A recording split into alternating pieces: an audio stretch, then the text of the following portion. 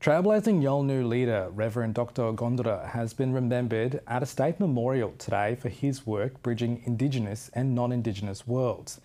The 79 year old passed away in June, but the legacy of his work is set to live on.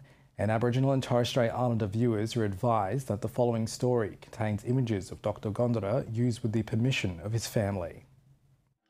A traditional send off for a man so proud of his culture. Dr. Gondarra has been remembered as a shining light for his Yolngu people. He stood tall and fearless, piercing through the darkness that has been suffocating his people for decades.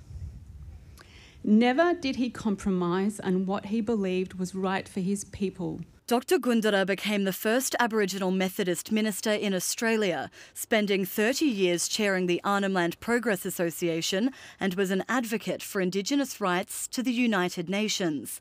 The one message all speakers echoed today was how he was able to bridge the gap between Yolngu and non Indigenous people. Because of that, he was a teacher and, a, and selflessly helped all of us to understand two worlds that he dedicated his life to and tried to bring together to live in harmony. He was also a staunch advocate for truth telling and treaty, something he never got to see in his lifetime. Some used the solemn occasion to keep pushing.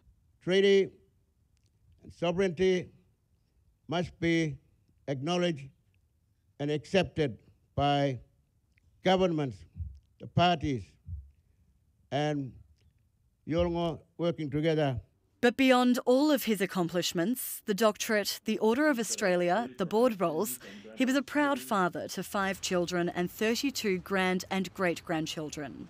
He loved his family. He welcomed all partners, provided support and guidance to his children through their lives. He was kind, generous, and patient. A pioneer for his people, leaving a legacy behind and work ahead. Isabella Tolhurst, ABC News, Darwin.